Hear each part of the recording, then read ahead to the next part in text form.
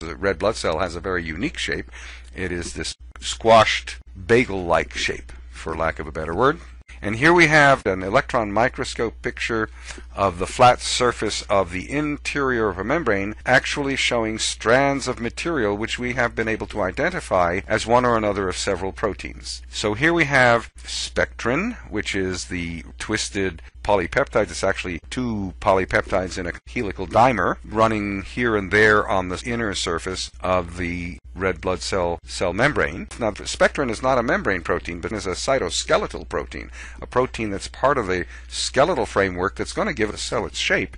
But it has to be held to the membrane, and it's held to the membrane by attachment proteins shown here as blue and yellow spheres. Ankyrin, A-N-K-Y-R-I-N, is an example of one of these proteins that is a membrane protein and that does anchor spectrin to the membrane.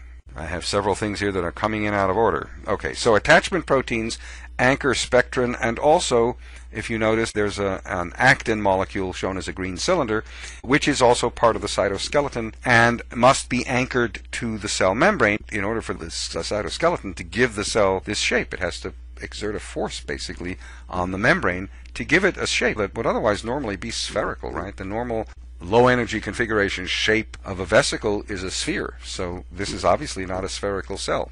Glycophorin A is a transmembrane protein. It crosses the membrane with that alpha helical region of hydrophobic amino acids, and its function is to prevent red blood cells from binding to one another. So, in a way, it's a kind of a receptor it's a receptor that says on, on the surface of one cell says to the other cell, if you're another red blood cell, I don't want to have anything to do with you. Uh, it keeps red blood cells from clumping when they're not supposed to, to keep your circulation going obviously freely and so that you don't develop blood clots. It's an essential protein because, as we know, there are times when your blood must be able to clot.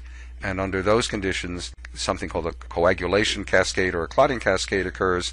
Cells, platelets, are allowed to form a meshwork and in fact form a clot. But you don't want this to happen with red blood cells that are functioning normally in an organism that has no need of clotting.